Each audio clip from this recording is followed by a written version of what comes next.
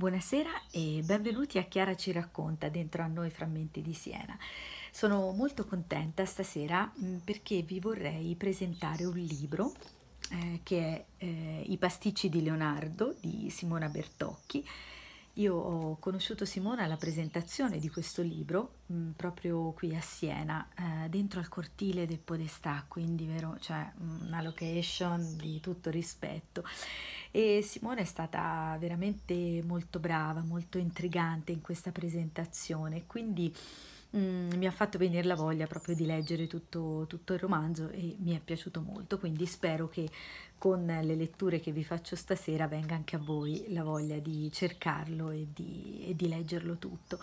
E, mm, allora, sapete, io quando eh, prendo un, un, libro, a meno che non vada in libreria apposta perché so cosa voglio, però insomma me lo guardo, mi guardo se mi, mi piace la copertina, una cosa proprio veramente terra terra, poi leggo dietro e qui dietro l'avrei comprato. Qui è Leonardo che parla. Il gusto e l'olfatto stimolano l'affettività, il rifiuto, l'attrazione, la pace e anche la rabbia. Se mangiate un dolce pasticcio e vi si scioglie in bocca un nettare irresistibile, non vi state solo riempiendo la pancia, state ingerendo emozioni e ricordi. Come fate, amato zio, a non capirlo? E come fate a non capire che alcuni ingredienti possono alterare le emozioni? C'è la scienza nella pasticceria. Ecco perché mi appassiona quello che voi chiamate arte poco nobile. Quindi qui, cioè, qui c'è anche, eh, anche, ci sono anche ricette, eh, sicuramente. Si parla di un Leonardo mh, mm, meno, meno scontato. E quando già il retro mi ha convinto a prendere il libro, allora sbircio un po' anche all'interno della copertina, dove in genere c'è un po' un, un riassunto di quello che, che tratta il romanzo, il libro in questione. E qui veramente questo riassunto è molto intrigante. Eretico, falsario, esoterista, spia, pittore, scienziato, architetto. Su Leonardo da Vinci se ne sono dette molte forse perché la sua biografia è costellata di enigmi non ancora risolti. Di certo sappiamo che fu eclettico, al limite della schizofrenia, estremamente curioso e che annotò qualunque cosa gli passasse per la testa. Nel disporre le proprie volontà, il genio toscano indicò nel giovane Francesco Melzi l'erede del suo tesoro più prezioso, tutti et ciascheduno li libri che possiede, ossia decine di migliaia di fogli con appunti manoscritti e disegni sugli argomenti più disparati accumulati nel corso di un'intera vita. Inizia così la storia dei codici di Leonardo che nel corso dei secoli si disperdono in tutto il mondo. Uno di questi il più anomalo e anticonvenzionale, viene ritrovato nel corso di un trasloco da Scagno Righi, pasticcere a Vinci, nei locali in cui, secondo la leggenda, sarebbe stato ubicato il forno e il mulino di famiglia di Leonardo. Si tratta di un taccuino ingiallito, le cui pagine, seppur ridotte a un velo, sono ancora leggibili. All'interno sono annotati pensieri confusi, conteggi delle entrate e delle uscite, disegni e diverse ricette di dolci ricette ben strane. Secondo chi scrive, infatti, avevano poteri taumaturgici e forme originali. Sono l'occasione per Ascanio di rimettere in discussione tutta la sua vita, fino ad aprire una linea di pasticceria rinascimentale, i pasticci di Leonardo. Coadiuvato da due storiche e dalla donna che gli ha ridato serenità affettiva, Ascanio deve anche rispondere a domande inquietanti. Quale collegamento ha il taccuino di Leonardo con l'antico sultanato ottomano di Bayezid II? E soprattutto, quali sono i veri poteri dei dolci del maestro? Romanzo intrigante combina abilmente alchimia, profumi, sapori ed emozioni. E come al solito eh, io vi inizio proprio dal, da, dall'inizio e, e poi andiamo avanti un pochino proprio per farvi venire la voglia. Il prologo. Mettiamo anche un po', un po' di musica. Da qualche giorno i francesi avevano permesso a Milano di sollevare la testa. La città era esausta dai saccheggi selvaggi e dal sangue versato. Le truppe di Francesco I, dopo la sconfitta per mano degli imperiali, erano ancora più inferocite. Il duca Francesco II Sforza, ultimo figlio di Ludovico, non fu all'altezza delle strategie e dell'abilità militare del Moro. Il popolo si sentiva orfano e abbandonato, piegato da un vento di guerra che soffiava furioso. Nella stanza dove dormiva Salai con la moglie filtravano strisce di luce d'argento. Le grida dei soldati erano l'unico suono di quella notte infinita di luna piena. Giovanni Giacomo Caprotti, per tutti il Salai, si era barricato in casa. Gli uomini dello Sforza lo cercavano per vendicarsi del suo tradimento. Aveva già venduto al re di Francia molti beni ereditati dal suo maestro Leonardo, tra cui il quadro della Gioconda e altri dipinti dal valore di 1250 scudi, una cifra considerevole, alla quale si aggiungeva il valore di pietre preziose e vestiti di lusso. Come se non fosse bastata tanta ricchezza, il nome di Salai compariva nel registro degli assegnatari di lauti doni e benefici ricevuti dalla corona francese. La sua sposa gli si era raggomitolata accanto, soffocando il pianto. La accarezzò sfiorandole appena la spalla e la baciò, le baciò la fronte in un gesto istintivo mentre lei chiudeva gli occhi. Salai stava male non controllava più il suo corpo e la sua mente. Gli ultimi dolcetti mangiati contenevano delle droghe, ormai ne era dipendente. I pensieri e i suoni si deformarono.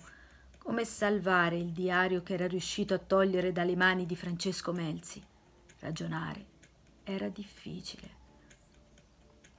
Melzi era arrivato alla bottega di Leonardo molti anni dopo Salai, dimostrandosi il più dotato e affidabile tra gli allievi. Il maestro lo scelse per affidargli la sua eredità intellettuale. Alla ricca bibliografia in, possesso, in possesso di Melzi mancava però il diario in cui Leonardo dava sfogo a visioni e malinconie e su cui scriveva i pensieri più fragili e strane ricette. Il diario gli era stato sottratto proprio da Salai, l'assistente indisciplinato, scomodo, imbroglione, ma anche l'unico a cui il maestro aveva aperto l'anima, colui con cui aveva diviso tutto. I ragionamenti di Salai scivolavano disturbati dalle grida francesi provenienti dalla strada e dal pianto sommesso della moglie. Era dilaniato dai dubbi.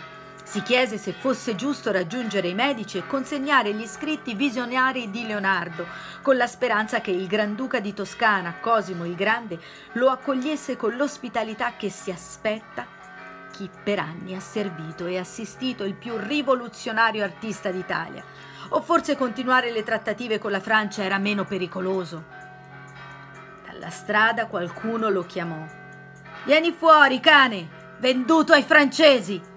L'effetto delle, delle droghe e l'orgoglio ferito lo fecero reagire.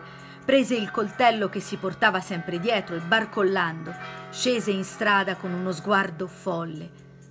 La moglie, tra i singhiozzi, pregava Santa Chiara di salvare anche quella volta il suo Giovanni Giacomo.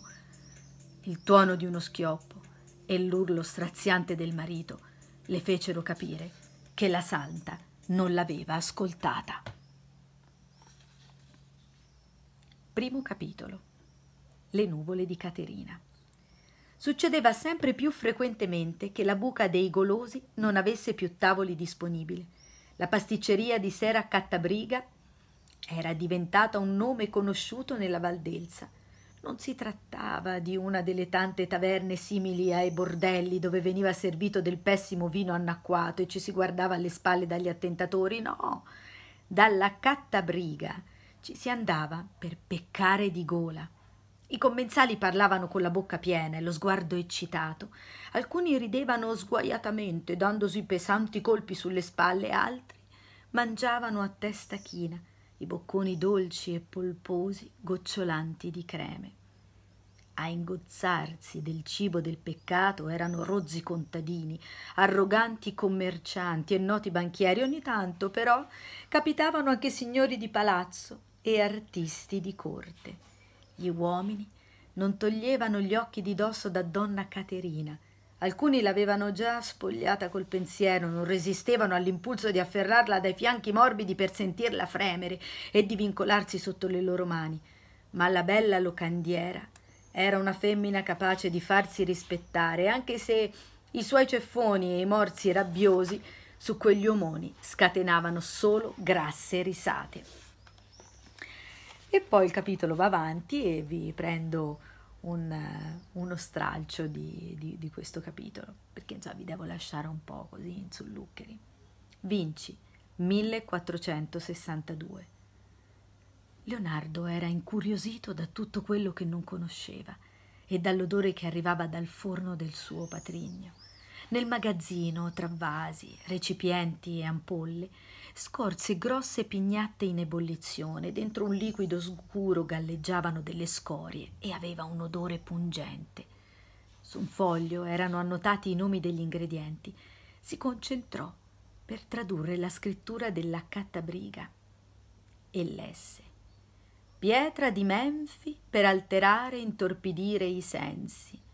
Foglie e radici di mandragora per dare vigore e infondere effetti afrodisiaci, celidonia o erba di Santa Chiara per portare fortuna ma anche per esercitare il male, calapel venere per alimentare discrezione e modestia, manna ottenuta dalla linfa della corteccia di frassino, sostanza divina per allontanare le negatività, vischio per fare innamorare e ancora polvere di argento e oro, radici di fiori di loto, Smise di leggere, ma la lista era lunghissima. Se non sono pozioni magiche queste, pensò. Gli piaceva guardare il patrigno mentre impastava, mescolava, sfornava. L'estratto delle piante, la polpa dei frutti scivolavano nelle uova, venivano inghiottiti dalla farina, ricoperti dalla cannella e dagli agrumi canditi, amalgamati nel composto di mandorle tritate e zenzero. L'astuto accattabriga vendeva le sue magiche leccornie a caro prezzo a mariti gelosi e sospiranti fanciulle perse dietro amori impossibili, cavalieri senza coraggio, mercanti che volevano raddoppiare i loro denari. Otterrete il vostro scopo solo mangiando queste delizie, Madonna. Ogni giorno dovrete servire al vostro amante i miei dolci pasticci e non dimenticate la crema rossa fatta con l'ingrediente segreto. In poco tempo dimenticherà quella passita e grigia ereditiera e sceglierà il vostro sole. Non potrà fare a meno della primavera che avete in corpo. Leonardo sorrideva per l'arte dell'adulazione del patrigno, ma dopo la poesia, Accattabriga presentava il conto con grande naturalezza.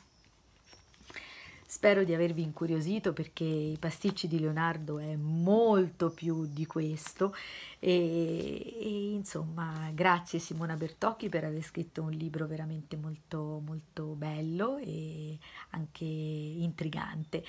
E allora Chiara ci racconta con noi Frammenti di Siena, torna giovedì prossimo, poi se volete potete seguirmi sul mio canale YouTube Chiara Savoi e anche su Facebook con una lettura al giorno. Grazie, alla prossima, ciao!